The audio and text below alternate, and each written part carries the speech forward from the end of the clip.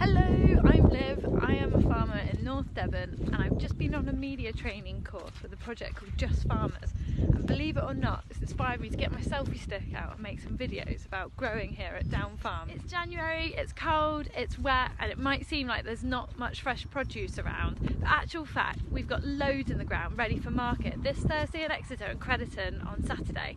Behind me here, we've got a whole block of purple sprouting ready to be picked.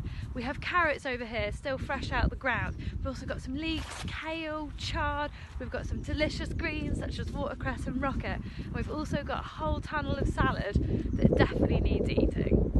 So come down to Exeter Market this Thursday and Crediton on Saturday to get some winter veg that is local, seasonal, organic, fresh and totally delicious.